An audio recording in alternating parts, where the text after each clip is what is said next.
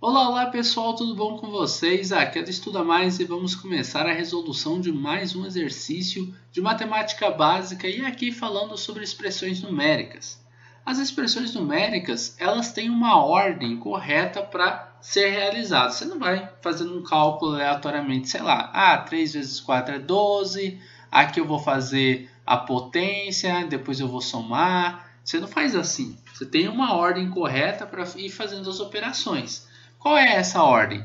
Aqui, ó, de cima para baixo, essa é a ordem das operações básicas da matemática, tá? Você faz potenciações e radiações primeiro, você faz multiplicações e divisões depois, e depois adições e subtrações, tudo bem? Agora, não só isso, você também, você também tem a ordem da, dos seus símbolos, tá? Você vai fazer parênteses primeiro, depois você faz os colchetes e por fim você faz as chaves.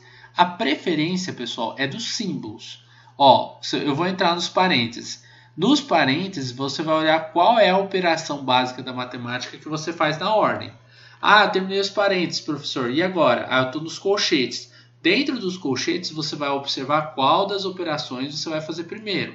Depois dos colchetes, você tem as chaves. Dentro das chaves, você vai ver se você tem uma radiação, uma potenciação, uma multiplicação. Você vai ver o que, que você faz primeiro. Bom, vamos lá que vocês vão entender. Olha só, eu tenho aqui os parênteses, não tenho? Ó, tem um parênteses aqui e tem outro parênteses aqui. Dentro dos parênteses, eu tenho uma multiplicação e eu tenho um número que está elevado. Ou seja, eu tenho uma potência e eu tenho uma multiplicação. Quem que vem primeiro? Potência. Então você vai ter que resolver 712 elevado a zero primeiro. 700, qualquer número elevado a zero é igual a 1. Então 712 elevado a zero é 1. Aí vai ficar aqui multiplicado por zero. Ó, o meu parênteses está aqui ainda. 1 vezes zero dá quanto? Qualquer número vezes zero, pessoal, é igual a zero, tá? Então fechei aqui, terminei o parênteses. Agora eu entro dentro do colchete. Eu vou só copiar isso aqui rapidinho, ó. Mais 2, aí tá. Vou abrir o colchete aqui. 2 mais 7 ao quadrado multiplicado por zero. Dentro do colchete eu tenho uma soma, uma multiplicação e uma potenciação. O que, que vem primeiro? Somar, multiplicar ou fazer a potência? Fazer a potência. Então, 7 ao quadrado, 7 ao quadrado é igual a 7 vezes 7, é igual a 49, não é? Então, você vai fazer isso daqui. 49 vezes zero mais 2. O que, que você resolve primeiro? A adição ou a multiplicação? Aí é só olhar aqui em cima, ó, multiplicação vem antes de adição. Então, eu vou colocar aqui, ó, 49 vezes zero, que vai dar zero. Todo número multiplicado por zero é zero. Mais 2, ó, colchete aqui de novo. 2 mais zero é igual a 2. Acabou o colchete. Agora eu entro na chave. Então, eu vou copiar aqui ó, rapidinho, colocar a chave aqui, chave aqui, colocar a chave aqui.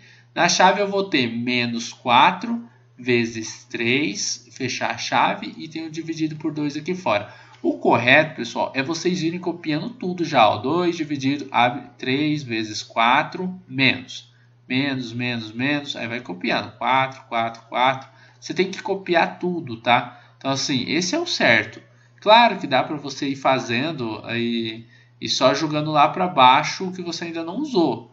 Mas para deixar organizado, para o seu professor ficar feliz, sua professora ficar feliz, eles querem ver você copiando tudo, tá? Então aqui eu tenho 3 vezes 4 e tenho também o 4 menos 2. O que, que eu faço primeiro? A subtração ou a multiplicação? Vamos ver a ordem, ó.